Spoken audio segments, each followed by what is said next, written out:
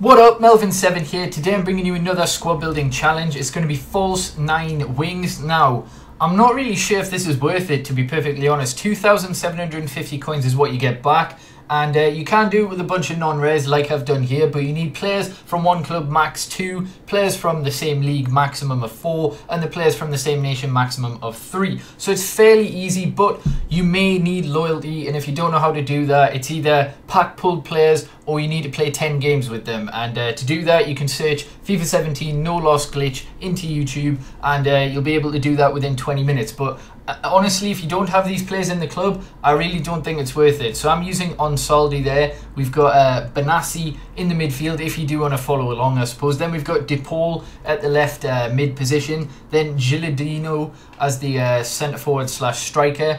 Uh, Cerci as the right wing, Saul as the centre mid, and then the right back is David Simon or Simeon or whatever the hell his name is. But anyway, the chemistry needs to be 64, so uh, yeah, it, it's a pretty simplistic squad builder challenge, but as I say, like you, you're only really getting 2,750 coins back, which is probably what you're going to be spending anyway. So that's probably not worth it, but there's the solution anyhow if you do want to do it. So hopefully I've enjoyed. Subscribe if you haven't already, like the video, and yeah, peace.